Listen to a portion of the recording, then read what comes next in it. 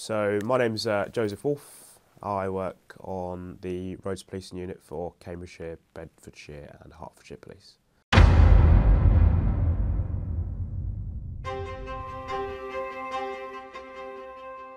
There was lots of different job opportunities leaving sixth form. Um, many of them all stuff I'd never done before um, and it was a case of me needing to pick something um, and I started to investigate what in particular I found interesting, what I liked. A keen interest in cars. Um, I decided that I would look into policing uh, in relation to going to a recruitment event um, and after I went to the recruitment event I decided there was, there was nothing else that interested me. It was a case of if you come into work and you go home with a smile on your face and you go home feeling like you've achieved something, then ultimately it's the best job in the world.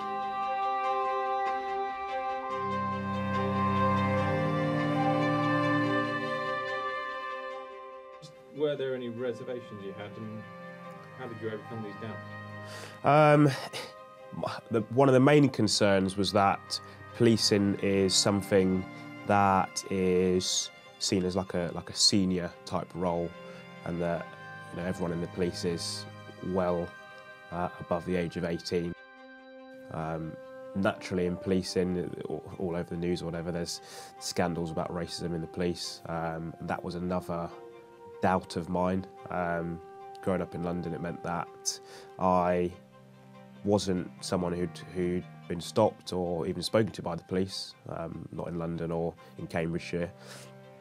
But the media had made it look, made policing look in a certain way, uh, and so it, it was kind of a concern for me as to whether I would be singled out or treated differently in relation to my race. Um, again, this recruitment event, there was um, a black officer there, and there was an Asian officer there, and I had the same conversation with them and it very quickly stamped that out as um, that there was nothing to be concerned about. Why do you love it? Um, so my goal was always to join the traffic department. So in the police, people use the phrase "living the dream" um, as a, a way to describe often a day, even if it's a good or bad day. you can always summarise it as living the dream. But um, being in the traffic department for me is something that I look forward to coming into work to do every single day.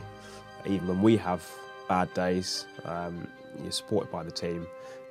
Any job where you wake up in the morning or you wake up in the afternoon and you look forward to going into work and at the end of the day you'd happily stay at work for longer um, is a job that you, I can't complain about and that's, that's why I love it. Um, and I can't see myself doing anything else now.